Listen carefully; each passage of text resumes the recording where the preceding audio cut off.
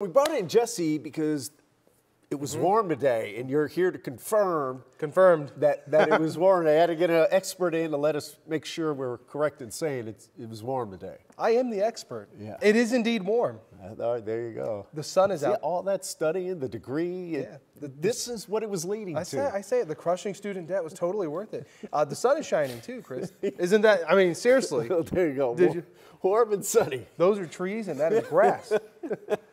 Back to you. And that blue stuff at the top? Sky. Sky. Yeah, Okay, I mean, it's it. cr- you. How'd you know? That's, that's wild.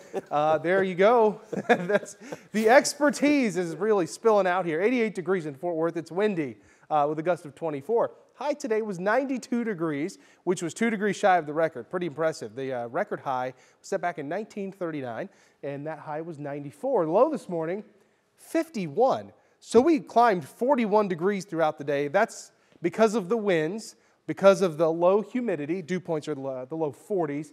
The south wind and the sun, of course, shining. 88 degrees at the temperature at DFW right now. Ragweed is high. It's back into the high category. Elm is moderate today, and fungus is moderate. And that's your pollen count for today.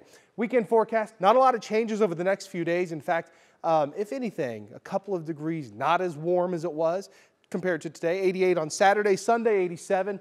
It's still windy. It will be windier too tomorrow and Sunday. Wind gusts will be as high as 40 miles per hour throughout the weekend. That means an elevated fire danger will continue over the next couple of days. Humidity stays low, the warmth stays here.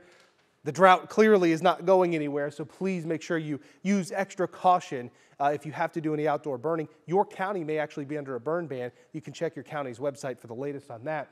Clear skies in North Texas, clear skies across the beautiful state of Texas. Really not much happening here until we get into early next week. So upper 80s and windy for the weekend. Our next storm system will roll through the Great Plains, bring a cold front with it, and it will bring a chance of showers and storms Monday and Tuesday, and cooler temperatures too. And uh, it's not going to be drought busting rain, but at least it's something, which we so need the rain, and we'll get some again, mainly Monday afternoon and Monday night. Weekend is quiet. Here comes the cold front. This is in Amarillo around 7 p.m. Cooler air pulls in ahead of it, and we'll have a chance of showers and storms uh, as soon as Monday morning and afternoon. The better chance, though, second half of the day, there's the rain becoming more widespread in the afternoon and evening. Maybe a couple of gusty storms. I won't rule out maybe a 60 mile per hour wind gust, which just meets the severe criteria. So there could be a warning or two. It's not a big, uh, big severe weather event by any means, but there could be a couple of strong storms. Half an inch to an inch of rain expected in North Texas by the time all is said and done.